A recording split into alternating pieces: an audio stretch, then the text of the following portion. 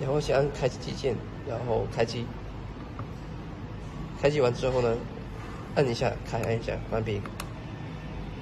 先把飞机通上电，然后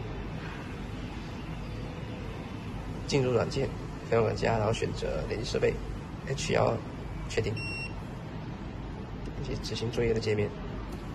然后可以看到这边有 GPS 状态，然后电压、星速、飞行的模式、喷洒大小、仿地的开关以及稳定的高度。这边有。屏幕，然后我们可以点击一下进行切换，开灯、关灯，点击一下切回来。然后这边呢，飞行模式、手动作业模式，A B 点的话需要飞机起飞才能才会识别出来。然后可以通过看通道设置，这边是导航。然后这是水泵，这边是 A B 点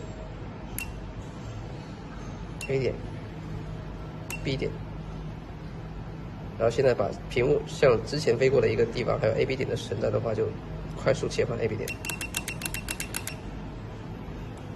，A B 点进入成功，